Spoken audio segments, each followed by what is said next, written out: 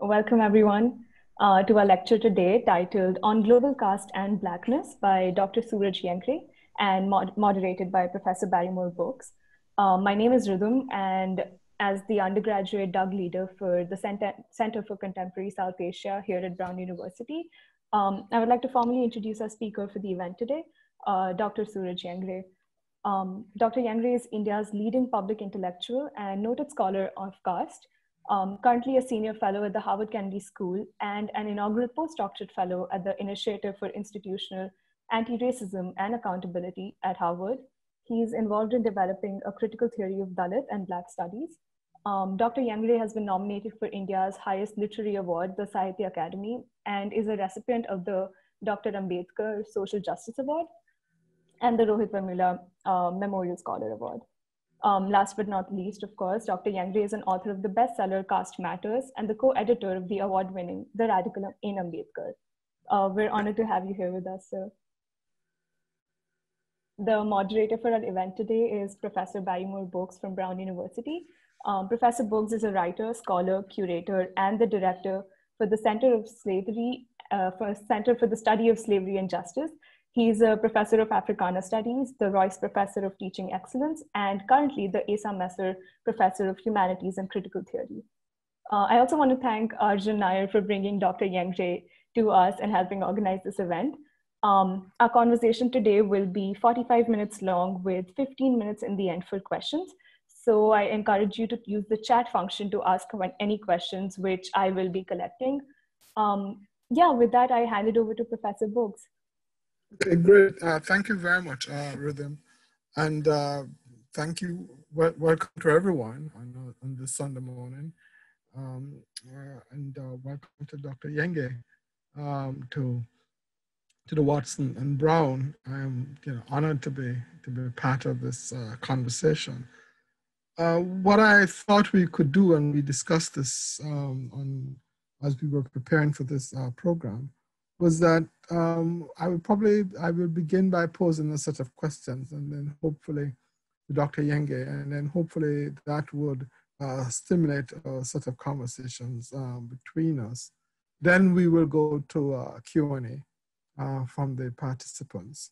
Um, and then I will probably, and then if we have time, we'll leave the last word to Dr. Yengde. And so let me again welcome everyone and uh, throw the first throw the first question on to Dr. Yengde. Uh, you have written this really explosive book, uh, Caste Matters. Explosive, I say, because it opens uh, intense debate and discussion um, that is sometimes silenced. Right. Um, and so I want to ask, why did you write this? I want to begin by asking, why did you write this? Uh, first of all, uh, a very good morning and good evening, and sometimes it's good night for some of our friends tuning in from Japan. Uh, I would accept my uh, greetings to everybody here. Uh, at the outset, let me thank Arjun Nair for really being consistent that this dialogue happens, and I'm grateful for his devotion. Also, Rhythm Rastogi for facilitating this. Uh, and of course, the great Professor Barrymore Bogues, uh, whose work we continue to learn a lot, especially when we try to understand the slavery in the Caribbean and in the larger context of this part of the world. So I think this conversation that we have today has many meanings to me personally, Professor Bogues, simply because the idea of slavery has also has to extend uh, to certain uh, corridors of intellectual thought which might not necessarily ascribe the quote unquote slavery status. And I refer to my group, my community in South Asia, uh, whose experiences uh, were slave like without the commerce being part of it. Um, uh, the book that I wrote, uh, in a way, was initially written, as you know, as a very armchair academic uh, with a lot of you know um, uh, continental philosophy uh, as well as the humanist humanities uh, that went through me describing. Uh, but uh, during the process, the publisher thought it would be better to not make it too jargon specific and, and make it publicly accessible doctrine. Uh, and, and that's why I think the language and the way I argue uh, was having a moment. I mean, this was not my doctoral dissertation. Mm-hmm. I, when I came to Harvard, I, I interacted with uh, many African American scholars as well as the Africanist uh, scholars here. And, and then I realized that this was a moment perhaps for me to then now uh, talk about my community uh, in a way, in a language uh, that could be potentially be something that a 21st century will have to grapple and wrestle with. And it was very much a Du Boisian inspiration that I got from, of course, is the question of color line being the 19th century, uh, 20th uh, century problem. And I was thinking, what will be the 21st century problem? And that's why I think uh, at the early decades of this uh, century, I wanted to frame an argument that could uh, help us collectively think not only about South Asia, but also across the uh, globe and, and the importance of caste.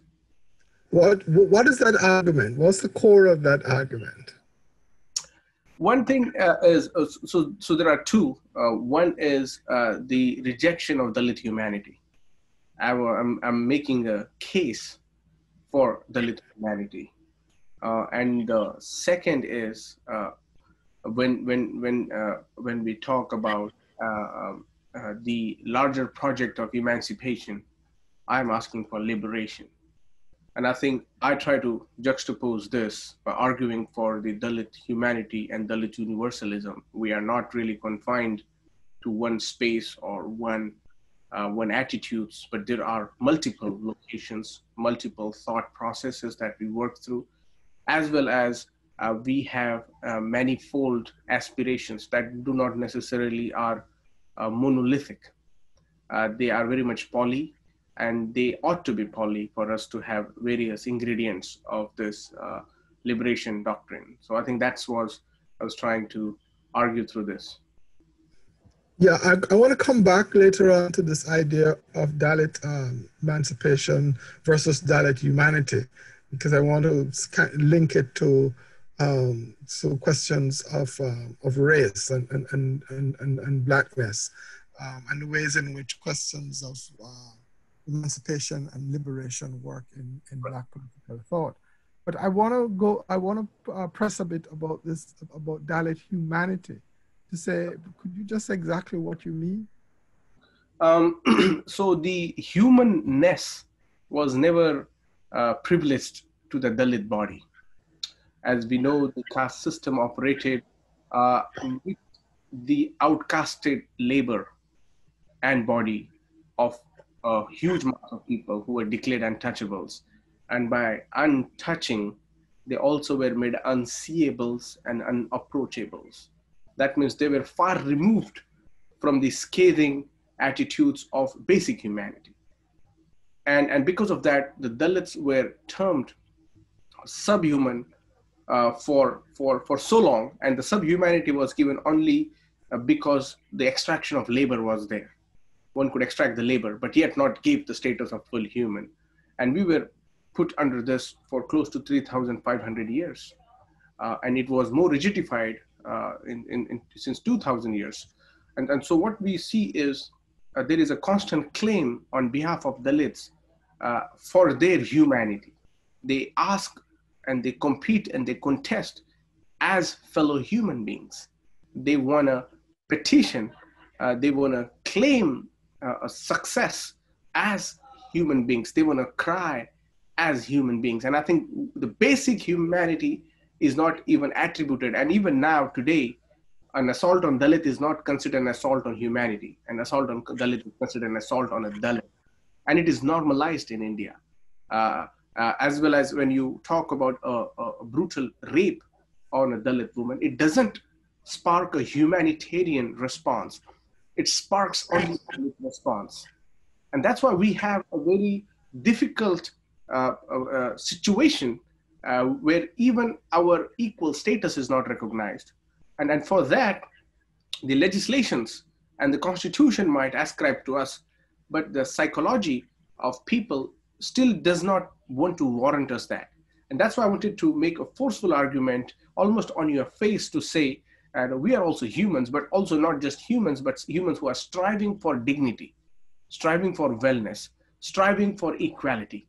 Uh, we just don't live life uh, as a passive human being, but very much an active, a co-participant of making this moment, a very much uh, a construction worker of this civilization that we are trying to trying to lead. And of course, uh, I, I, forcefully also put forward that we want to be the ruling class, the one who want to uh, take control of our own affairs, as well as an affairs that you are failed, you will also able to run those uh, under our leadership. Yeah, I, the, the idea of touching um, is a really important one. And one, as I listen to you, um, uh, my mem- I'm reminded of a sex, section, section of Black Skin, White Masks, I'm sure you have read, in which Fanon talks about um, our ability to touch, or lack of ability to touch each other is actually um, uh, is a sign of a certain kind of uh, inhumanity. And uh, that therefore the, he calls for the ability for us to touch each other and and and what I'm what I hear you saying, which I which I, you know which I think is important, is that uh, if you uh, for for uh, groups that are oppressed um, through caste and then I would argue then through race, what you are seeing is that at the root of part of the root of that oppression is a certain kind of uh, uh, human hierarchy, classification or schema in which some people are not on the scale of, not on the human scale at all, and therefore can be treated as disposable and can be treated as any, any, any in, treated in any way. Would that be an accurate assessment and of what you're, of what you're trying to work through? Indeed, as, as you can see, the whole Enlightenment era project of, of course, of the past 500 years was devoted to uh, remove the humanity of uh, other color or, or, or a non-European descent race, as we know, the whole canon was developed. But that was partly inspired from, and that's what we, we have to pay attention to the early Enlightenment era thinkers, like, of course, Hegel, but also Kant, how, how they closely studied the Hindu texts, how much they were aware of the caste system, very much where otherizing essentialized was mm-hmm. very much central uh, to the principles of how to govern and how to run the forthcoming, you know, and, and the basic premise of an any uh, controlling mechanism uh, was to own uh, the time and space. And, and, and not only the time of the present, but that also of the future. And I think it is where uh, the Dalits become an important element because uh, they have been sustaining uh, dehumanization and the time and space was never accorded to them. They had to live on the pittance as well as the favorables of the person or the entity that was controlling and ruling them. That's why they were ostracized outside the villages. That's why their women folk were available for sexual abuse and exploitation. That's why the, the men folks were available uh, for, again, sexual gratification by the women folk of the dominant caste but also uh, for their labor that they brought alongside, of course, the children and, and, and, and, and the women folks. Now, the, the, the, the cosmology of uh, Indian uh, village political economy operated on removing any hints that would make the untouchable labor feel that he is someone who can claim not even fight for, but even if you claim that, and I think to remove that, religious texts were deployed. And a certain sanctity was ascribed to justify the oppression. And I think uh, when it comes to, you know, very much Fanonian, and, and you know, I myself heavily inspired uh, by Fanon, and, and, and, and when I see these dualisms that even Fanon tries to tackle between uh, the colonized as well as the neo colonizer as, as he identifies what after colonization. Uh, in, in, in this very much sense, uh, what we are tackling is the phenomenology of a Dalit being. People have not really understood. It is a stigmatized body that continues to walk through many arrows every day pointing towards them. And, and, and, and how then do you still manage to not only survive, but aim for something higher than yourself? And, and, and, and through that channel, that's why I'm very devoted to my ancestors who were, who were born as untouchables. Yet they never gave up on thinking that the next generation will be better than us. And i think that's it's it's uh, it's it's to there that's you know we we kind to we tend to uh, uh, uh, uh broaden uh, our horizon of where can we then take our next generation okay great in the in the book you you write that um, that caste is not just violence against the other you say but that there is a certain bio-individualistic way aspect of caste. Um, what do you mean by that? How, how, how, I think it's probably linked to the last point you made, but could you could you explore that a bit with us? Right. I think you know this is interesting because uh, because many times what has happened is people have uh, uh, mentioned or talked about caste as a structure, as a macro uh, uh, uh, perspective, which is, which as much as it is true, but when we talk about Dalit experience, it is about the individualism. It is about how they interact uh, with others as a human body, as well as negotiate themselves. They, the, the Dalit body is a carrier of anti-caste virus. They want to destroy that. They want to overcome uh, the, the, the caste aspirations.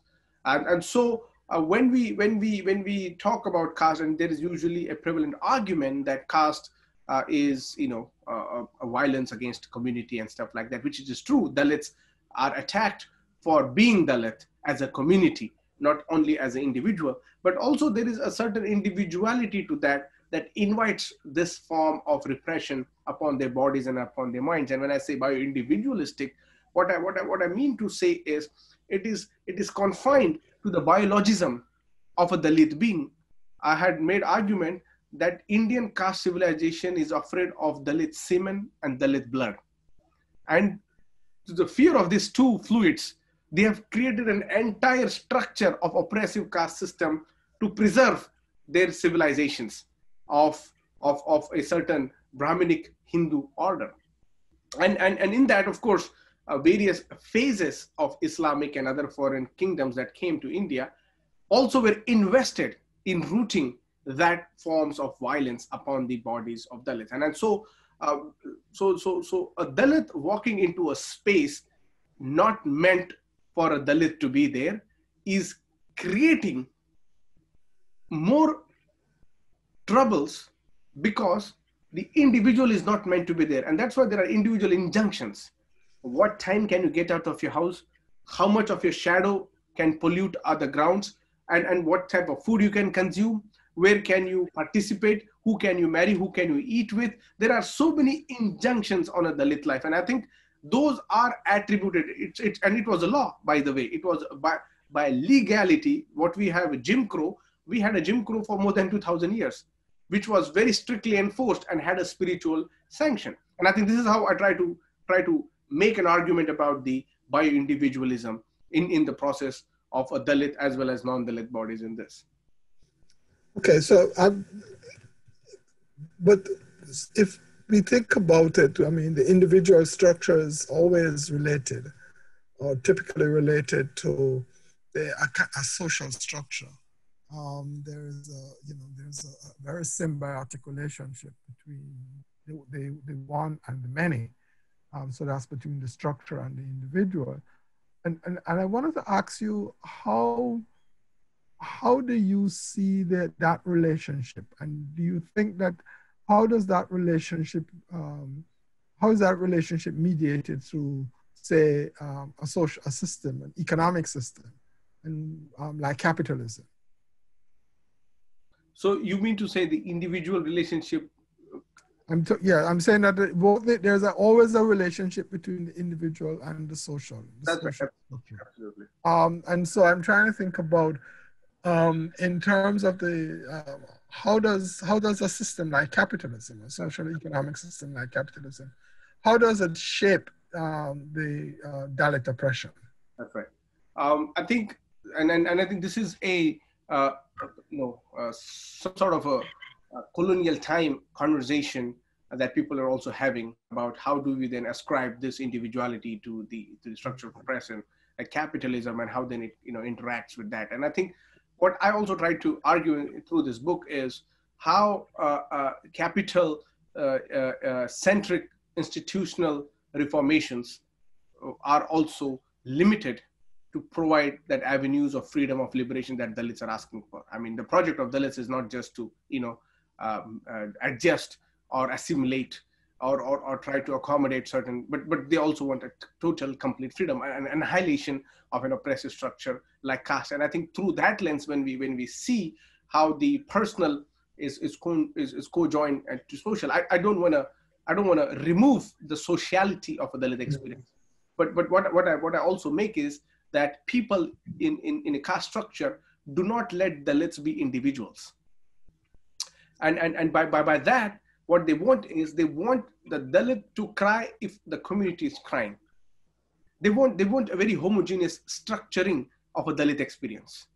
And, and if there is a, a, a certain thing on Dalit, other Dalit, the society, the hegemonic society wants us uh, to to react as a as a common par, as, as a common being. Now that might be true, but in the you know eh, among Dalits themselves, there are close to 1,246 castes, and each caste has its own sub subcastes.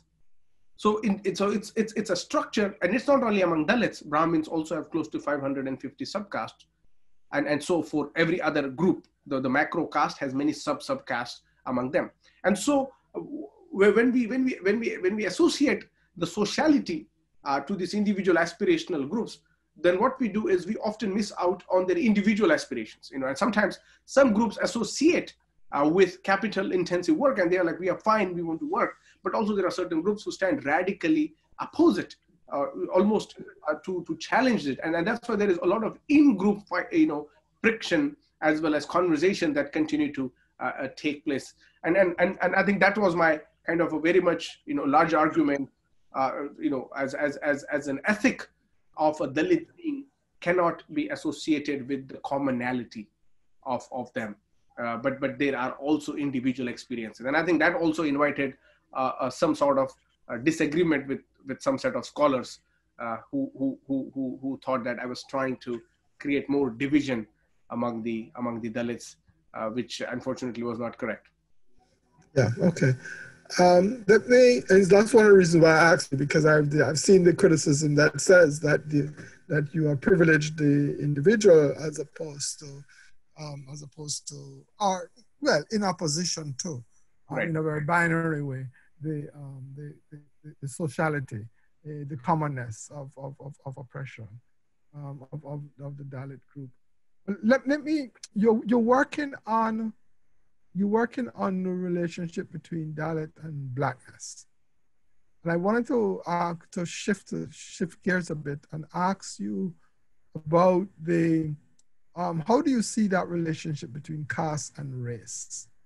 Um, and and let me let me um, posit a statement here um, from uh, one of the most important sociologists, black sociologists in the United States, uh, Oliver Cox and, and his book, 1949 book, um, you know, on uh, caste, uh, class, and race, in which, um, in you know, which uh, Oliver Cox argues that race is a physical identity, and I'm summarizing over 500 yeah. pages here.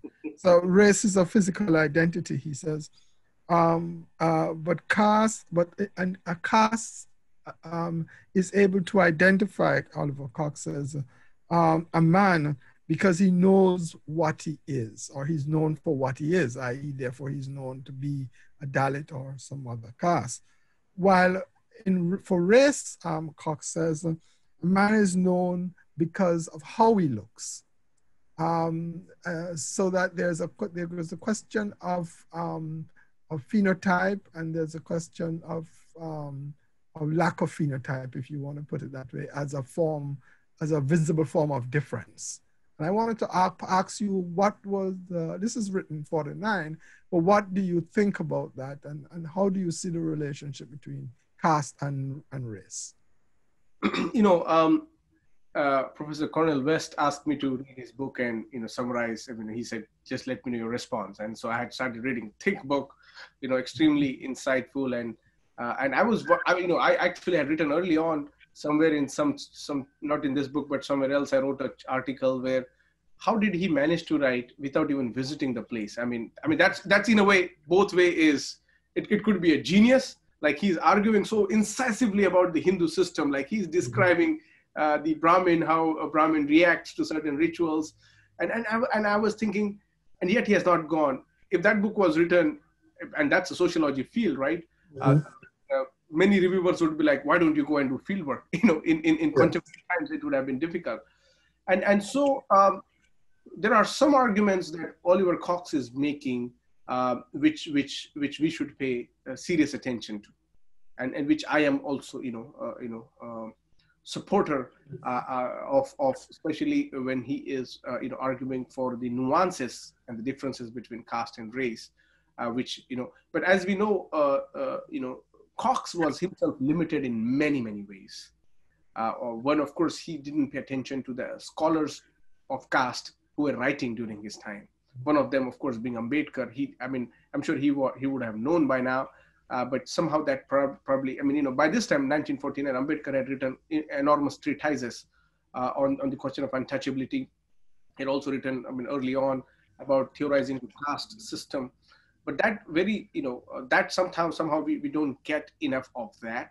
Uh, however, uh, Oliver Cox's argument was also the phenotypical, uh, you know, gesturing of race uh, where you know he made a, a comment about uh, race as being a constant you know in friction because a person who is as he uses the word the negro is is is striving to fight you know there is always a movement whereas he says caste in a way is uh, has stabilized. He had mentioned that the people who are lower caste or the dalits have accepted their status because of the karma. And that theory when he's arguing is partly correct from what books he has read. Because mm-hmm. there is one theory that argues for that. And, and, and, and he basically thought that's that's how we could you know differentiate. And of course uh, the second aspect was about race. And that has led me to read about genetic theory to see about you know how did race uh, came and, and um, that's that's one of my you know been uh, uh, interest since past two years where i'm reading more closely how uh, genomes and how, how, how this um, new study in the, in the in the genetics field especially and also archaeology help us to understand. And, and, and as we see, race and caste technically are European terms. Uh, uh caste uh, comes from Iberia, uh, especially when, when, when, when, we, when we look at its foundation and, and how, how it, it, you know, of course, the name is, is evolved, but ascribed to, to an otherness. But, but the experiences of those can be catalog, cataloged in, in, in, in this. And so Oliver Cox's rejection of caste and race uh, as as as as similar uh, of you know identical forms, and that's a sociological approach, uh, is validated up to an extent because the debate has to then further as to what do I make of race and caste, what do I make of the structures of oppression, the structure of function in various societies, and where do I take this? And I think that is this is where uh, I disagree with Oliver Cox uh, where you know there are more similarities to these conversations of race as a system of control, as system of oppression, as, as, as differentiation. Because as we know, uh, the, the biological argument is rejected when it comes to the, the, the racial, uh, uh and, and similarly, uh, the biological argument to caste is also rejected because, uh, because you know, lighter skin Dalits as well as darker skin Brahmins. This, this kind of, you know, evolves to through it. But I'm not concerned about the immediate apparentness of race and caste because it is more confusing. It is more confusing for a, for example, a person who, for example, sees you would be difficult to place because for some people the color has to do with Africa and the hairstyle and you know nose, and so there are various ways of this what we call cephalic index formation of whatever we did, but there are structures under which descent based hierarchies existing in society where there are lowest caste who are providing their labor and value to the dominant caste when dominant castes are controlling the entirety of that. And i think this is where uh, you know new uh, phase of study i think has to has to expand in in, in this in this i think at least that's what i'm trying to uh, propagate uh, through my research and, and writing in forthcoming times. Okay but let me ask a question because in the certainly within the american context to think about race is to think about blackness. Um, and to think about blackness is to think about the you know his, history not just of racial slavery but things like the one the one drop rule yeah. Um, where you have one drop of black blood then you are you are considered black uh, and therefore um, to to to think about race is to think about forms of racial subjugation and to think about okay how does one map that um, not just sociologically but economically politically socially and so on how does one map um, racial subjugation? And therefore, how does, um, particularly then on, if you follow that argument, um, then you would think about, okay, how does blackness, which then is posited by the dominant hegemony as inferior, then um, is flipped around by those persons who are black to become um, to become a political category of, of possibility of change and reform. So um, what I'm so how does the to think about it in that way, um, not to limit, not to not to um, to say okay to to um, to Oliver Cox that you are right, but to try and try and thinking through um, that although race is both race and caste are not are you know are historical fictions and and, and, and, and social fictions in many ways that they also have a certain kind of material reality. Um, and then to try and think about, okay, how does, uh, what's the similarities in those, in that, in that? Um, and, and what are the differences? Because the, the historical, there's a certain kind of historical specificity, I think, to oppression that one always has to, uh, to take account of. And I think I am with you on that especially with the aspect of materiality and what do we do with this. The Americanized experience of race is, uh, I'm sure you will agree, is different, at least with other experiences of racialized societies that, that we have. Uh, and, and, and also I think Cox was also somehow, of course, being a Trin- Trinidadian himself, uh, you know, grew up around uh, other Indians as well, who, you know, who were also fairly dark skinned. Uh, and, and that's what I, that's why I am very gentle towards Cox simply because of his life experiences. And of course, he was writing from Chicago, uh, mm-hmm. where his contemporaries were arguing something else, who were white, by the way, uh, mm-hmm. barring Allison Davis, uh, who himself was a, a, black anthropologist of the era.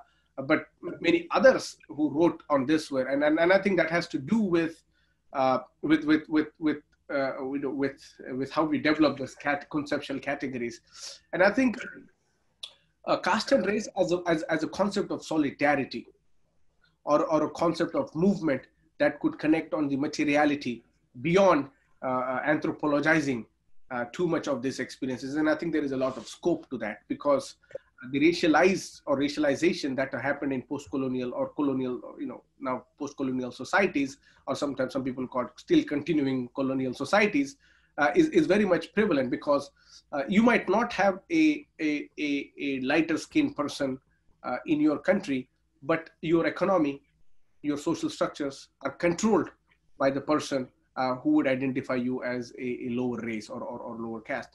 But race then, uh, Professor Bogues, I think has also uh, need to expand, uh, you know, its, its, its, its strictness in the sense that uh, the oppositeness has almost confined to the white man especially the 20th century politics of African Americans, Du Bois and all others, where the idea of uh, uh, you know, connecting uh, to the to the you know um, against the white supremacist you know regime that was existing, the colored people solidarity that worked. But for me, that there was a there was a clear kind of contrast. But for me, that was just not limited to the color contrast, but it was to do with the uh, with the control of economy and resources by a certain geographical location, in this case Europe, and now America, uh, you know, who wants to, of course, expand to this. So, so how do we then explain a black Barack Obama, actually African and white uh, mix uh, Obama, trying to, you know, run the imperial order of America across the world? or in that case, you know, many other countries run by, especially India, also participant uh, to creating more neo-colonial fights in, in, in, in this ways. And I, and I think that's why the oppressed people of each communities, black within black, the oppressed among the blacks is what my concern is. Uh, because as we know, the, the ethnic divides as well as the tribal divisions that we have in various societies where people from the lowest strata of their respective societies never got opportunity to be negotiators or, or, or, or people who could deal as, as equals. And, and for that purpose, I am hoping to get the black and Dalit as an approach instead of, if you will, caste and race. You know what I mean? Because the caste and race will further complicate uh, this, but, but doesn't mean I'm not open to that. Yeah, what you're saying reminds me very much of a particular section of uh, Du Bois's Black Reconstruction, yeah. in, which he, I, in which he calls for um, a solid, uh, really human solidarity between all people of color um, and all um, people, so-called natives um, at the time, because he's writing in 1935, so he's writing in, uh, you know, um, British colonialism is not yet finished, or the entire European colonial project is not yet done. Uh, and he call, he's calling for a certain kind of alliance of oppressed and solidarity, really, of oppressed peoples across the world against, uh, against both colonialism and against American empire. Um, but I would want to just push to say that it might also be that in trying to think through the question of race, um, particularly as it relates to the United States, we might want to think about um, in what ways the, uh, the after black body or blackness um, is actually a perpetual enemy within the system. And if it is a perpetual enemy in the system, why? Um, how it is constructed around violence, that, that the actual ways in which racial subjugation is constructed is through dehumanization and racial hierarchies, but its sustainability and the way violence has generated that may also may, may actually mean that we are, and because slavery was such a violent process and could only be violent and sustained by violence, um, that, that what you're looking at is the a possible way of trying to think about um, uh, uh, uh, race as or the black or blackness or the African American has always been outside of the, the system, always been the um, the disposable body, always been the person, the, the, the, the, figure that cannot be incorporated into the body politic. And that what you may have with somebody like uh, Mr. President Obama and so on are settlements, are the exception. And what is interesting in, the, in thinking about that is um, when he becomes a president, the resurgence of white supremacy, the resurgence of anti-black criticism, which may then suggest to us a, um, a, a, that, that, this, that this settlement was deeply upsetting to various people. And that what we are seeing now is actually a, a, a you know, a, fight back, a real fight against that settlement. But let, let, let's, so, I mean, you know, so I, I think that's important, but I think what you're saying is, is really important for us to, to also think about. I want to just go take one step back and um, to history because we're talking about colonialism and neo-colonialism and so on. And I wanted to ask you about the anti-colonial struggle in India.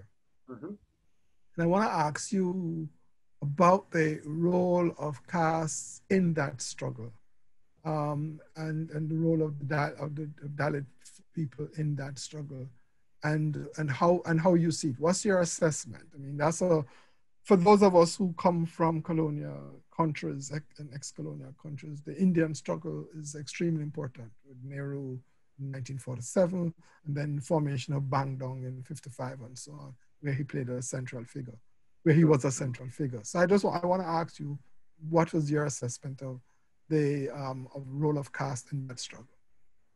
Um, my view of the colonial and anti-colonial struggle of the past century is that of the uh, uh, hungry eyes and fatigued mind.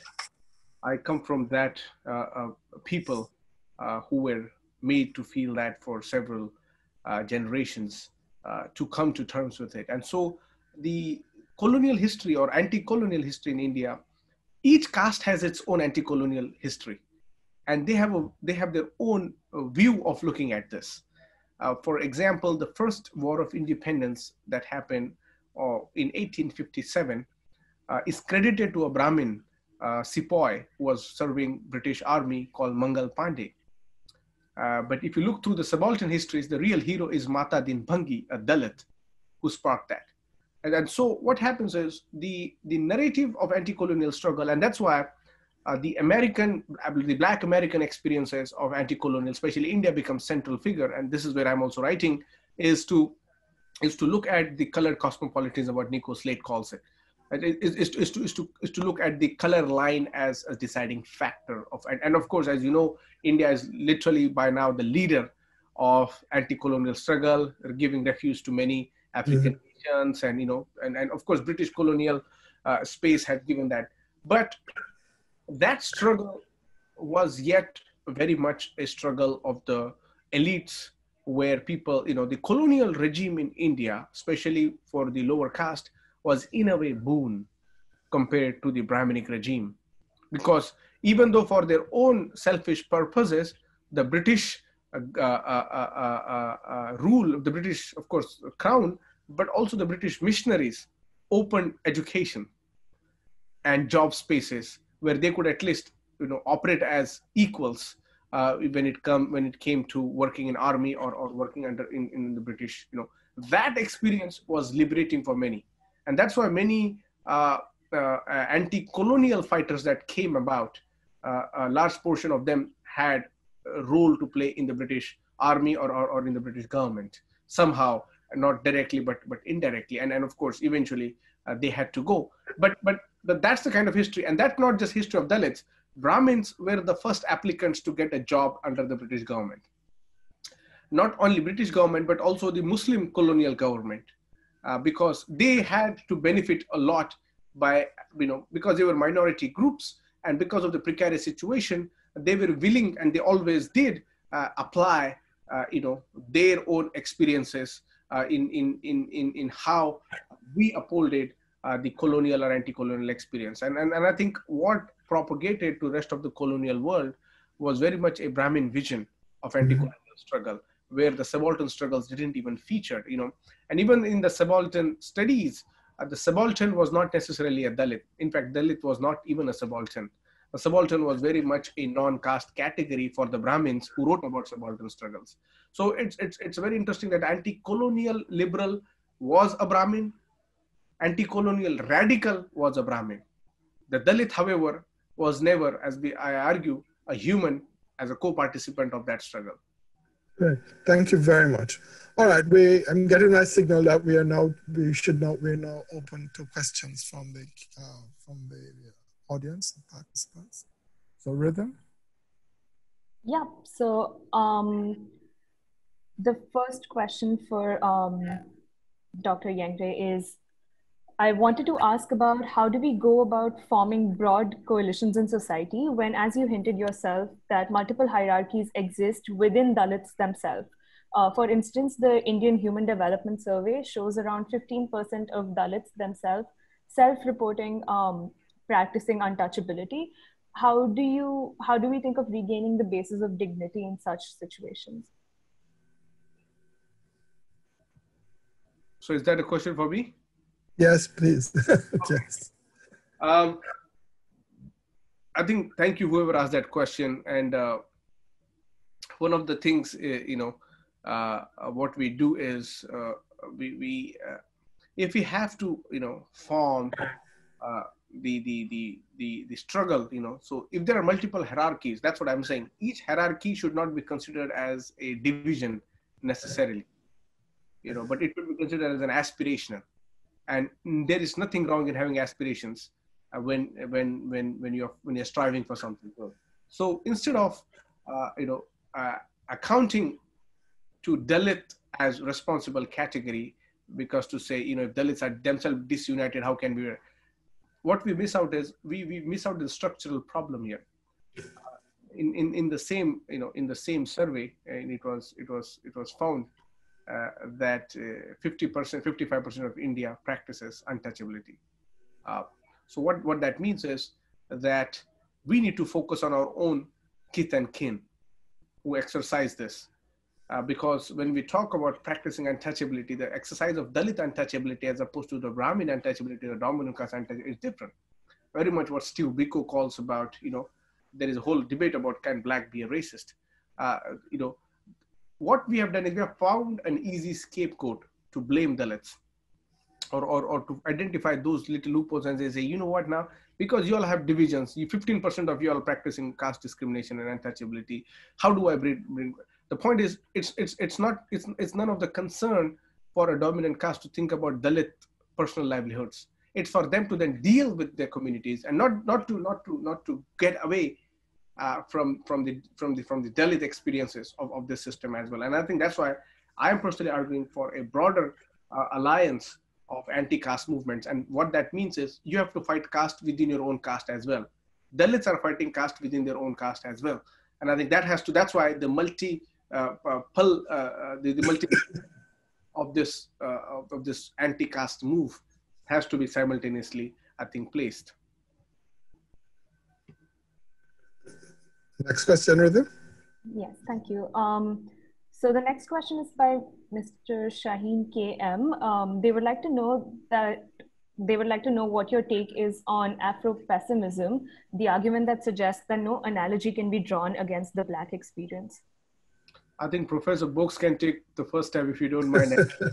no, I don't mind. I don't mind it. Um, I the way I like to think about it is that there is, um, there is no two two things. One, there is no there should never be a, a kind of Olympus, Olympics of oppression um, that says I'm more oppressed than you are, and so on.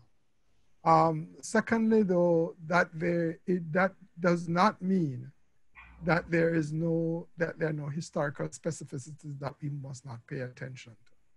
And uh, I am and uh, I think that the historical specificity of the of the oppression of, of black folks whether it is um, in the United States, Brazil, or in the Caribbean and elsewhere, or, or in parts of or in, or in parts of Africa, um, is is is extraordinary. Is one of the foundations of the making of the modern world, um, and there is no doubt about that. Um, but I also think that there are other things that are part of the way with which the modern world was was was, was made, and so that. Uh, I don't, I don't myself like to think in terms of analogies that, okay, this is analogous to that and so on and so forth, but more always trying to think through historical specificities and, and, specific, and specific moments, but also quite frankly, um, always uh, op operating from a particular position, which I think is important.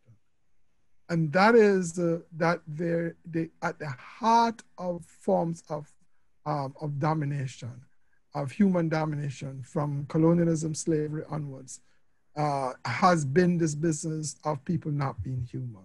Mm. And therefore, the question for me is uh, how do you, how does one create a, a human, a more humane society?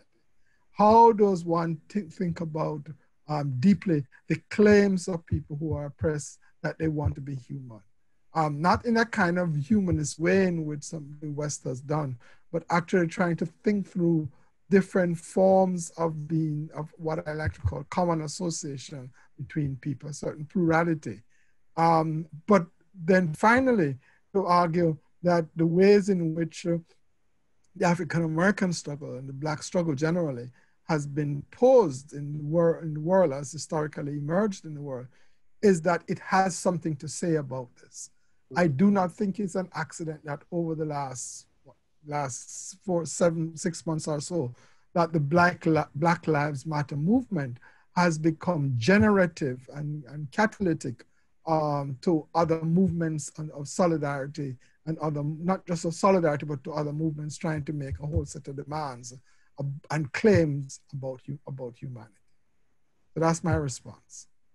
I'll just add a one or two lines to that. I think the I'm, I'm very much with Professor Bogues on the analogy part, and I think what we do is because our mind tends to, you know, uh, you know, it's, it's, an experimental psychology where you know if you have if you see one one block open, you try to fix that block with something else. So we were trying to even out, and human experiences cannot be evened out.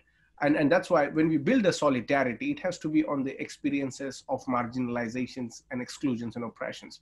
And I think on that, uh, there are various ways we can build upon this, or else we'll never end, as Professor Bogues said about the Olympics of oppression, because there is always something, somewhere someone is oppressing when you go to the micro level. But when we talk about the structural inequities, that's where I think we can have more, uh, you know, and, and analogous can be uh, and historical anecdotes that could help us have a common bearing. Uh, and, and I think that's important, but, but, you know, we can't really uh, try to, you know, uh, mimic or duplicate uh, the, the, the other existing unique forms of experiences. Okay, so the next question yes, is uh, so the next question is that you argued that both, um, this is by Kanha Prasad. He says that you argued that both um, race and caste are nominally European constructions, um, while race became a dominant form of classification only after European colonialism. Um, you argued that caste pre-existed European colonialism, but was given a new name. Um, could you explain ways in which caste was transformed uh, in the experience of British colonialism? Yeah, I mean, it, it was more bureaucratized it was more it was given more prominence uh, and the classifications then started to happen according to caste. I mean the census that happened and the jobs. Anil seal uh, wrote a book in 19 i think 67 uh, on, on the british colonial experience especially in western india. And, and you know there we see the classification. And this was not only in india. The classify the bureau see because colonialism eventually in british at least was a bureaucratic arrangement. The bureaucrats ran the country and and and to if you have to you know to run it you have to keep books you have to keep logs.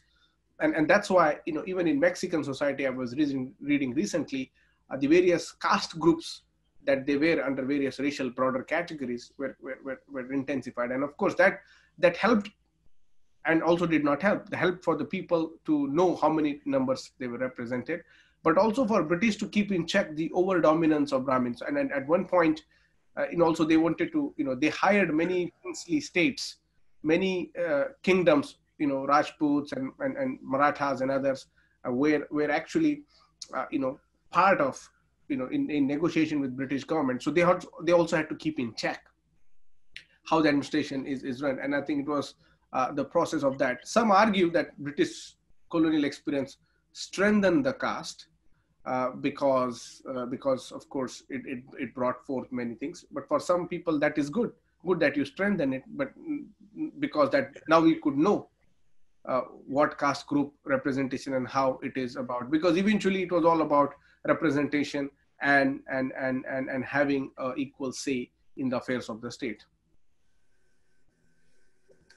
Okay thanks Ridhik. Um, so the next question is by uh, Ritika Biswas. Uh, she asks if you think caste identities are primarily embedded within the geopolitical region of South Asia, and how does the South Asian diaspora carry caste and experiences of caste discrimination amongst its diaspora communities, um, especially as a foil to the visibility politics of race as carried by Black people?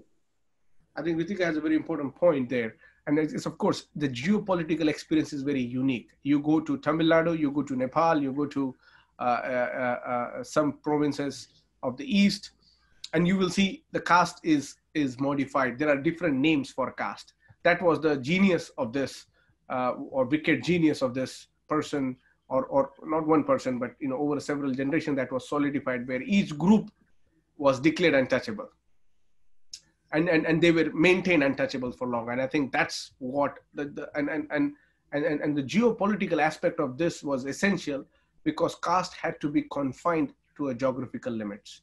Eventually, caste is about control.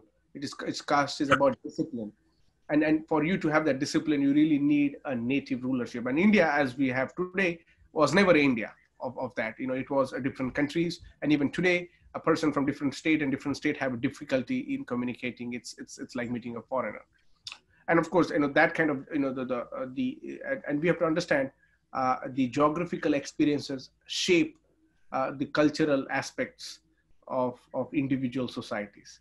Uh, they have a huge force of uh, uh, influence that kind of shapes one's thinking as much as culture shapes the geographical part of part of that. And and I think that's what happened when these uh, groups also came to uh, you know the foreign country carrying the same psychology. And that's why when they come here, there's also the geographic affiliation. Each state group has its own association. The Telugu have their own association, the Maharashtra, and you know that's how it is going to be because it's a replication of your loyalty because people are still attuned to the idea of nation state and that nation state model continues to have its own replications wherever they go okay i think um, we are you know we, we have about three minutes more could, could i then could i go um, to, could we take one more question with them and then I, I there's a i want to come back to the business of um, of emancipation and liberation and the difference right, between yeah. So yeah. we have an interesting question. Um, it's quite elaborate, but I'll read it out. Uh, this is again by Kanha. Um, he asks that his second question is regarding communalism. Um, as I'm sure Dr. Yengde is aware, Christopher Jaffrelot and others have written about how Dalits since the 1990s have been enlisted in the Hindutva project with some degree of success. Um, Bhanwar, for example, in his book, um, Why I Could Not Be a Hindu, wrote about how during the Ram Janmabhoomi event, the RSS devoted enormous resources to recruiting Dalit as foot soldiers in destroying the Babri Masjid. Um, and in the ensuing communal vi- violence against, against Muslims. So, why do you think Dalits today are attracted to the Hindutva project? Right. Um, Professor Bogues, you had also on liberation. Uh, you want to take at that last question? yeah, yeah. Well, let's just, if you could answer that, and then we, we just take the last one. Absolutely. Uh, thank you uh, uh, to Kanha Prasad for that question. I think Dalits are not attracted to Hindutva project. You know, they are they are framed as attracted to Hindutva project. If you read through Bhanwar Meghwanshi's idea, he did not go there to uh, necessarily follow uh, the you know, Hindu Rashtra of, of some sort. For him, Hindu Rashtra was different than what Brahmins were thinking of Hindu Rashtra. Brahmins had a, it's the same concept, but different idea. You know, uh, and for him, it was about a casteless, classless, a kind of a society of egalitarian utopia that he was hoping to achieve, and that's what was promoted. But in actuality, when it came to you know, uh, in practice, that was not the correct uh, description. And but uh, but but but it is right that the Dalits continue to be enlisted into the project of Hindutva, and that's why I say, let's stop using Hindutva. Hindutva is a very uh, dwarfing, limiting term. We should identify it as a Brahminic project. It's a Brahminism, uh, the, the, the essential control of one caste. Hindu as a thing doesn't exist, as, as a canon doesn't exist. There are various castes who are forcibly clubbed together. We have different aspirations altogether. There cannot be a Hindu as such because a person who's representing the Hindu causes or representing primarily their caste cause, the caste identity that they are born into. And, and that's how the aspirations uh, uh, you know, uh, preclude whatever they do as, as part of a Hindutva. And, and for as, as Dalits, we have, we have heavily rejected even the terminologies that we have. So it's, it's a Brahmanvad, it's a Brahminism that, that kind of continues to operate under the name of Hindutva. And, and for that, uh, by making it a Hindutva, the Dalits are made to feel that they are part of Hindu order. And, and, and, and by that, the Dalits have no investment in Hindu Rashtra. They don't, they don't want to, they don't want to have a Hindu uh, caste regime ruling. And Bhanwar Meghwanshi explains why he was at primarily attracted to it. And many Dalits will ascribe, and many former RSS Dalits who left, they will tell. There is a constant fear of otherizing Muslims. Muslims are considered enemies or the Christians, the, the religion non-native to India. And uh, this is a very theocratic understanding of how they want to present nation state. Uh, Dalits are forcibly clubbed into the Hindutva project when they do not want to uh, you know, they, they never they never went uh, to you know uh, kill Muslim or something. And so that's why I am bringing a caste analysis there, because the Muslims who the Dalits are beating as Hindus are also Dalit convert Muslims. The the Christians that Dalits are beating as Hindus are actually the Dalit convert Christians. So we need to have that focus of a caste sentimentality. Once we do that, we'll have a more clearer picture. Great. Can we, thanks very much. Uh, let me just end by just asking you to talk a little bit about um, liberation versus, eman versus um, uh, emancipation. Um, so I've been thinking about uh, these uh, notions because, uh, you know, emancipation for me still is ascribing to the, you know, neo state formations uh, where emancipation still means you know working and operating in a very liberal order. And liberal order also gives us a lot of space to be repressive under the name of law uh, to be uh, uh to be uh, uh, extremely exploitative under the name of free market and profit making um, and it also gives much occasions for people who want to continue to rule a certain class to have to have legitimacy and emancipation is, is, is attuned uh, to that idea. Uh, whereas when I look as freedom, uh, whereas I look as a, a, complete freedom, I want to look at liberation because liberation for me is trying to get away from all of that, what emancipation cannot offer. And liberation here is, is, is, is, is a complete annihilation of oppressive structures. And that's why I frame, of course, the emancipatory politics, very liberal politics that do not resolve on a longer term basis, which is very much uh, Martin Luther King Jr. as well. Uh, no, uh, uh, uh what's his name? Uh, Gandhi, as well as um, the, the politics of Abraham Lincoln, where, where we see emancipation becomes a, a kind of a, a, a, global doctrine acceptable, and all of a sudden the oppressed has to believe in the genteel politeness of an oppressor because an oppressor still is in the command and control of ruling the affairs. Whereas liberation is kind of subverting that altogether.